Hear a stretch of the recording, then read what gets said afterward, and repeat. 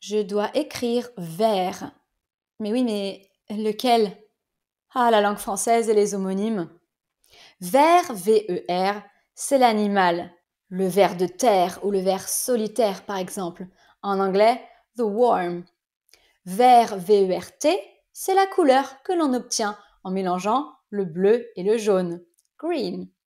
Le nom masculin vert, V-E-2-R-E, c'est le matériau fragile et dur, transparent, mais aussi le récipient duquel on boit. Glass en anglais.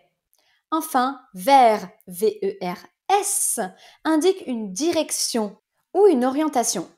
Exemple, aller vers quelque chose ou quelqu'un. En anglais, towards. Et voici quatre mots qui ont la même prononciation vers, mais une orthographe et une signification différentes.